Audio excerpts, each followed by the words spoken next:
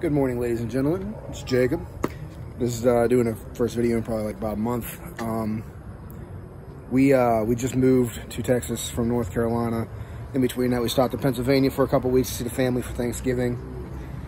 This I'm just gonna do a quick story about uh, our dogs and jumping out of our car on the middle of the highway in North Carolina for almost four hours. Couldn't find them.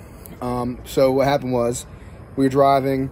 They were in the back of my car. My wife and my kids were in the car behind me, following. And I decided to stop and fix the the bungee cord because the plastic part kept banging on the window. Didn't want it to crack the window. So I got out and on the side of the road of the highway to fix it and I wasn't paying attention and the dogs jumped out of the car. Ran across the road, cars slamming on the brakes, people honking, stuff like that. So they're huskies, right? And they, I know it's like in their breed to want to run and run and run. We chose chase them, but the mother, she's a runner. She never listened. We got her when she was one and a half, so we don't, we're not sure what happened in her life prior, but she does not come back until she is willing to come back. And the puppy, Cass, who's I'm not even 10 months old, uh, decided to follow. And they uh, got out of our sight. I'm in flip-flops running after them in the middle of the woods. And then uh, they get to, get to a point where we have no idea. So my wife's in the car with the kids. She's driving. I'm like, all right, we, we found this lady who's screaming at us because our dogs killed two of her chickens. And they were free-range chickens.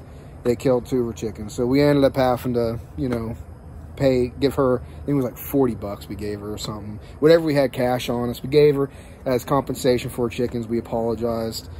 And uh, from there, I went into the woods and I just started running through the woods. Uh, I'm, I'm, wearing sweatpants, a t-shirt, and I'm wearing flip-flops. And uh, I'm running, I'm running, I'm running. Start getting really thick, a lot of jaggers, thorn bushes and stuff. I push my way through it, and there's a creek. I walk across this log across the creek.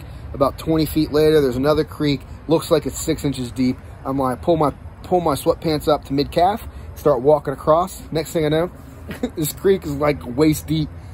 So I get paranoid. Both my flip-flops get stuck in the water and I lose them.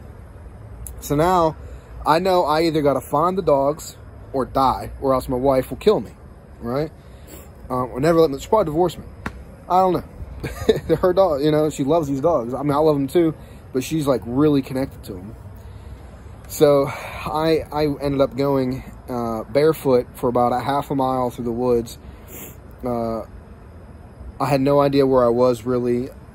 I ended up looking on GPS and I saw that there was a road uh, about a little bit up forward from where I was at. So I started walking in that direction and I start hearing dogs barking and I get there and it's just a dog on the side of the road. It's like somebody's house. I end up going a little bit further because there's a barbed wire fence. So I follow the barbed wire fence looking for a spot where I can get over because I'm barefoot. Can't get over barbed wire fence. Go a little bit further down the road, well, alongside the road in the woods. And this whole time I'm barefoot, stepping on branches, pine needles, stuff like that. Uh, it's kind of painful. And then I got to, I started hearing dogs going ballistic, like four or five dogs barking real loud and it's kind of violently. And I thought my dogs found another dog, they're fighting. Oh my God, I got to get there and either save them or try to stop it before there's a lawsuit. So I'm like running. I sorry my fingers in the in the camera, but I start running. I get to a place where the barbed wire fence is intertwined with the chain link fence. So I, but there's nothing really to grab onto. So I go up barefoot and end up falling down on top of the barbed wire and cut the hell out of my arm. I'll see if I can show you the scar. You kind of see the scar right there. Um, it's not bad now, but I mean, that's over a month old, well, about a month old. And uh, it just cut me really bad. Um, got bruised and scrapes all over that arm. Uh, but at least I landed on the other side of the fence. So now, hear these dogs going crazy. So now it's blacktop and off the side of the road there's gravel. So I'm gonna run on the blacktop, not the gravel. Mind you, I'm still barefoot. So I'm running. My wife, I called my wife, told her to meet me on whatever that road was called. And I'm running and I get to this area where it's like a high fence with green mesh over it. And there's like 20 freaking look like uh, pit bulls. I, I don't know. I'm not an expert in the breed. I'm not an expert with dogs at all. And they were just going ballistic. So it wasn't my dog. So I just walked down the road. My wife ends up picking me up. We go back. We put it on all the social media sites. Call the counties. Like, uh, it's like a county has like a, a website for lost pets and stuff. Somebody actually reached out to us on the Facebook page saying they found them off the side of the road. They were only a half mile up the street. We get up there and we see them in the distance. I grab the bag of uh, cookies and stuff, the dog treats, run after them. The uh, mother sees me and she like walks away because she knows like she's in trouble, you know? And then the puppy, he sees me, he like starts walking towards me, but stops, look back at his mom walking the other way. So he goes back with her. So now my wife drives up. She, they go, the both dogs go onto some lady's porch and there's like a dog inside of the house barking and they allow us to get them. But you know, as mad as I was at the dogs, I was the one that left the door open. And I was just happy to get them because it took us almost four hours. Um, and I lost my favorite flip-flops that I had for four years, and I'm still butthurt about it. I went to go rebuy them, but they're almost 50 bucks, and I ain't got no $50 right now to really spare on a pair of flip-flops. Um, so, but anyway, either way, dogs are safe can't can't see him right now, but you can kind of see you kind of see him. Right. Whoa, whoa, sorry about that. Yeah, right there. And right there. And uh but they're they're doing I'm outside right now, it's dark. But they're doing good. They're happy. And actually, uh, when we got to my mother's house, because I said we went to Pennsylvania first, it was eight hours to get there of driving. And then when we got there, like three, four days later, she actually slipped out of her harness and we ended up coming home right at the exact time she slipped out of her harness in the yard and she got out and we chased her for maybe 20 minutes and ended up she got trapped in someone's yard but like i said she she this is how we think her mindset is oh i'm gonna run i'm gonna run i'm gonna run gonna have some fun you know i always make it back home so i'll be okay and uh we gotta figure out something but you know she's chipped she got the what do you call them, dog tag. Um, we're, we're, probably to end up getting a GPS tracker on her.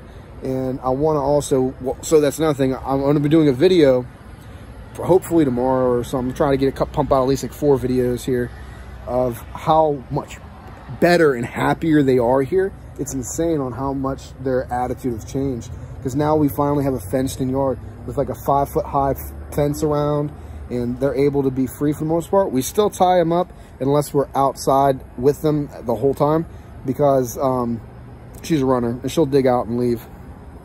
But, uh, and how much better they are. What I want to do is if we get one of those invisible fences, the electric fences, I don't know if they're electric or what exactly they are, like shock them or whatever. And I'd like to put it around here and that way see if it works with her. Because I want her to be able to come out here and run free the whole time but it's like we can't trust it unless me or my wife's out here. Even with the kids, we can't trust it. Um, but I'm be doing. I'm, I got three other videos on top of this one that I plan on putting out. But if you got huskies and and they like to run away, and uh, just leave it in the comments. So I know I'm not the only one that has dogs that are runners. The boy, uh, Cass, is, I mean, but he's a little bit too stupid to run by himself. Like he he's not the brightest uh, what do you, he's not the sharpest tool in the shed or whatever, you know? He, he kind of just does whatever his mom does. I mean, what do you expect? He's a puppy. He's only 10 months old. Barely 10. He's not, yeah, he turns 10 months in two days. So he's still young. But if you like this video, just like, comment, subscribe. Share if you want. Uh, I'm trying to put out, and that's bad quality. I'm just holding the iPhone next to an outdoor light. Kids are inside figured I'd do this right now when I got time. Um, just moved in. I'm doing a video on my, my thoughts of Texas so far. I lived here for, I, I moved, I got here on the 1st of December. I got to my house, to the actual place we're living at on the 2nd of December. And I'll talk about that. And I'll also talk about the town that I live in, which is Killeen. I might also do a short video about my opinions on Austin, Texas. I only spent about eight hours in Austin driving Uber. And uh, I might actually do a video on my thoughts about Uber and Lyft, driving for both of those. And uh, yeah, um, so we'll see what happens. But I got at least three other videos planned out for you guys. Uh, but like I said, you got to like, got to comment, got to subscribe. I'm fat. You can't, you know, I might not look like I'm fat to a lot of people, but I put on a lot. I weigh 220 pounds, most ever weighed in my life. Um, showing up in my new unit. I, am active military, if you don't know, and uh, I, am going to a school here in a couple months, so I gotta, I gotta get this weight under control. Just a mix of leaving my last unit, going on 30 days vacation, showing up at this unit during Thanksgiving, Christmas. I literally put on 15 pounds in this in the last two and a half months, which is absolutely insane and unacceptable. But I'll get it under control, and I'm sure by uh, next summertime should be nice and fit. Hopefully, like a 190 at max. My wife is joining the military. She's trying to, at least she's trying to go active duty army as well. Uh, wasn't a big fan of it. Still not a huge fan of it, but um, I think it'll be good for. Um, so we'll, we'll see what happens with all this. And uh, like I said, you need to like, comment, and subscribe. And let me know what kind of video you would like to see. When I do the video with how healthy the dogs are doing, how much more they live their life, I will give you some videos of them out and about running around. So just don't remember, subscribe. I got nine new subscribers in the past 28 days. I appreciate you. I really do. I this is the only honestly without getting the subscribers, it's very hard for me to want to do a video. It's almost to the point of like I, I I like doing them. I like my dogs, but at the end of the day, there's no benefit for me doing it. So I would very much like the more subscribers I get, the more encouraged I am to actually go out there and do the videos and show you the dogs, show you the town, show you the house, show you my life. And uh, if you're still here, I really appreciate it. That means you've watched 12 minutes and 23, 24 seconds of video. And it means you're awesome. And I appreciate it. So have a good one. Thank you for watching subscribe, please do.